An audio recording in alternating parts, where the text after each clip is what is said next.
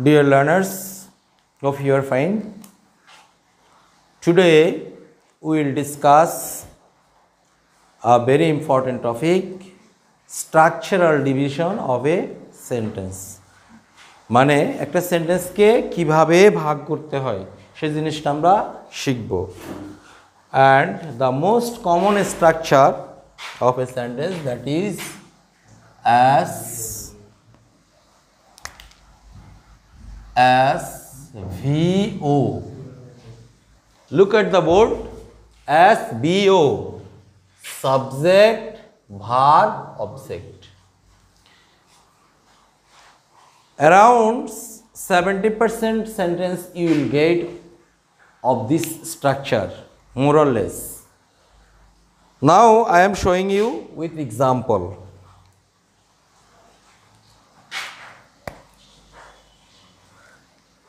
I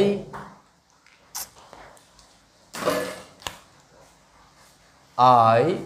love Bangladesh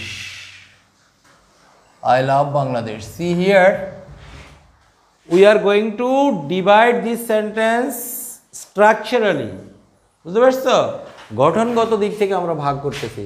this is our subject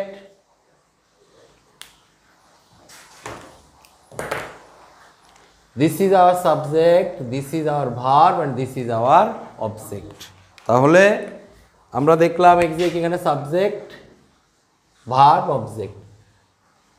Now I am showing you step by step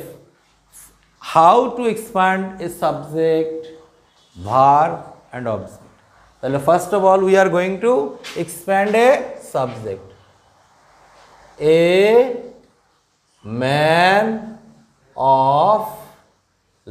letters is loved by all. See here, our subject, what is the subject of this sentence? A man of letter. Then, a man who takes tea is a normal human তাহলে এই তিনটা সেন্টেন্সের মধ্যে লক্ষণীয় বিষয় যেটা সেদিকে একটু খেয়াল করো আমাদের এই যে সাবজেক্টটা ছিল জাস্ট ওয়ান ওয়ার্ড তার মানে এটা একটা ওয়ার্ড আমাদের এই সেন্টেন্সের যে সাবজেক্টটা এটা একটা এটা একটা ফ্রেজ তারপর আমাদের এই সেন্টেন্সের সাবজেক্ট হচ্ছে একটা clause C L A U S E clause phrase word তাহলে একটা সেন্টেন্সের মধ্যে সাবজেক্ট ওয়ান ওয়ার্ড হতে পারে ফ্রেজ হতে পারে অথবা ক্লজ হতে পারে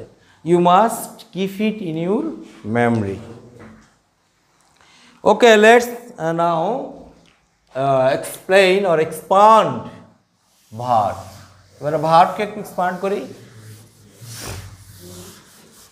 ঠিক একই রকম সাবজেক্ট যেরকম বড় হতে পারে মানে সিঙ্গেল ওয়ার্ড হতে পারে ফ্রেজ হতে পারে প্লাস হতে পারে same similarly in the same way ভার্বও সেরকম বড় হতে পারে আমরা এবার একটু ভার্বকে বড় করি দেখাই যেমন দেখো I am a learner. I am a learner. I am working here. The work is being done. Now, be careful, sincere and attentive Now see আমাদের এখানে আমরা এক্সপান্ড করে দেখাবো কি আমাদের দেখো structural division very important basically তোমরা যখন বয়েস সেন্স করতে যাও তখন অনেকেই বড় সেন্টেন্স দেখলে ভাগ করতে জানে না যার কারণে সে সেন্টেন্সটা আর বয়েস চেঞ্জ করতে পারে না কিন্তু ইউজুয়ালি তুমি যখন সাবজেক্ট ভার্ব অবজেক্ট পার্টটা ভালোভাবে বুঝবা তখন যত বড় সেন্টেন্সই হোক ইট ডাজন্ট ম্যাটার ছোট সেন্টেন্সের যে নিয়ম বড় সেন্টেন্স সেম তাহলে দেখো এই যে আমরা প্রথমে সাবজেক্ট নিলাম ভার্ব নিলাম সাবজেক্ট নিলাম ভার্ব নিলাম সাবজেক্ট নিলাম ভার্ব নিলাম এখন এখানে আমরা মূলত যেটাকে ফোকাস করব আওয়ার ফোকাল পয়েন্ট দেখো আমাদের ভার্বটা এখানে ওয়ান ওয়ার্ড অ্যাম তারপরে দেখো অ্যাম ওয়ার্কিং দেখ আমাদের এই এই এই ভার্বটা একটা ফ্রেজ ফ্রেজ কি মানে একাধিক ওয়ার্ডের সমন্বয়ে যখন কোনো কিছু গঠিত তখন আমরা ফ্রেজ বলি সেই দৃষ্টিকোণ থেকে এটা একটা ফ্রেজ তারপর দেখো এটা ইজ বিং ডান তাহলে এটাও একটা ফ্রেজ তাহলে আমাদের সাবজেক্টটা ঠিক সাবজেক্টের মতো ভার্ব গ্রুপও ওয়ান ওয়ার্ড হতে পারে ফ্রেজ ছোট বড় হতে পারে যেমন এটা একটু ছোট ফ্রেজ এটা একটু বড় ফ্রেজ আরও বড় ফ্রেজও হতে পারে clear okay now we are going to expand object part আমরা এবার একটু অবজেক্ট পার্টকে এক্সপান্ড করে তারপরে শেষ করব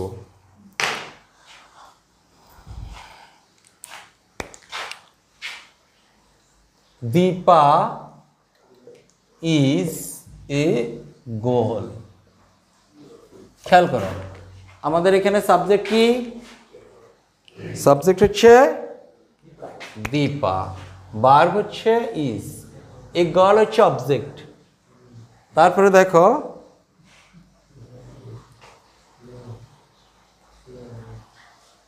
Dipa is a girl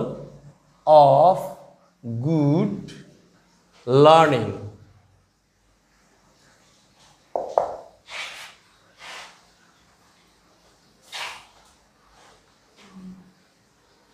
তারপরে দেখো Dipa is a girl who stood first fire ST first in the class see very important thing তাহলে খেয়াল করো আমাদের আমরা এখানে অবজেক্টকে এক্সপান্ড করে দেখাচ্ছি আমাদের প্রথম সেন্টেন্সের সাবজেক্ট ছিল এ গোল সরি অবজেক্ট ছিল এ গোল আমাদের দ্বিতীয় সেন্টেন্সের অবজেক্ট হচ্ছে a girl of good learning আমাদের থার্ড সেন্টেন্সের সাবজেক্ট হচ্ছে a girl who stood first in the class তাহলে লক্ষ্য করো এই যে আমাদের সাবজেক্টটা সরি এখানে আমাদের অবজেক্টটা ছোট ছিল এখানে এসে আমাদের অবজেক্টটা আরও বড় হয়েছে এটাতে এসে আমাদের অবজেক্টটা আরও বড় হয়েছে তার মানে খেয়াল করো যদি একটা সেন্টেন্সের তিনটা unit subject part subject section bird section and object section এভাবে এক্সপ্যান্ডেড হয় তাহলে দেখা যাবে যে একটা সেন্টেন্স কিন্তু অনেক লম্বা হয়ে যেতে পারে তাই না so you must take care of dividing a sentence into different parts basically subject verb and object তোমরা যদি এই তিনটা তিনটা ডিভিশন স্ট্রাকচার ঠিকমতো করতে পারো মানে একটা সেন্টেন্সকে সুন্দরভাবে তিনটা ভাগে ভাগ করতে পারো then you will be very much able or competent to convert sentence or make passive voice for making passive voice or active voice this is very important then that's all for now keep practicing allah hafiz